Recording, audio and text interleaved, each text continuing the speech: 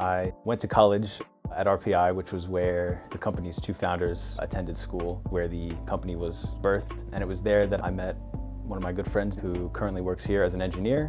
When I took a look at the website, it became pretty clear to me that it was an exciting place to work. So I wasted no time applying. PTP is the pre-treatment plant. We mass produce the mushroom material that gets turned into the bacon or the leather or anything else.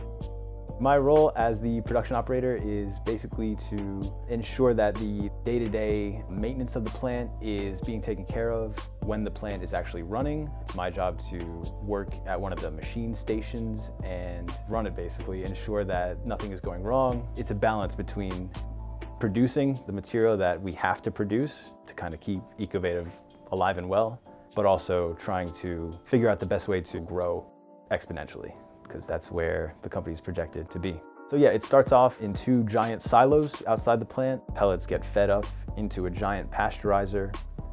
The pasteurizer heats them up. After it's heated up, it's cooled down to an appropriate temperature.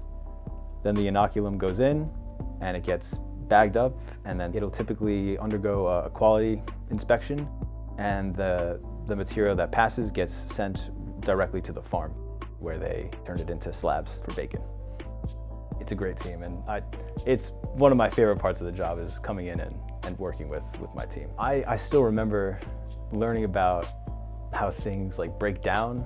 It was some like mad science like birthday party and the scientist was telling us about how styrofoam just doesn't break down. I, I remember like the cafeteria that, that I was in when I learned this fact. And, and I just, I was like, wow, it really just doesn't break down, does it? It doesn't decompose or anything that has stuck with me to this very day. When I first was researching Ecovative and I found out that styrofoam replacement was the first material that they worked on, it just brought an actual smile to my face. I was like, okay, like these are people who want to fix the same problems that I want to fix. And somehow, some way, I'm going to, to try to become a part of it all.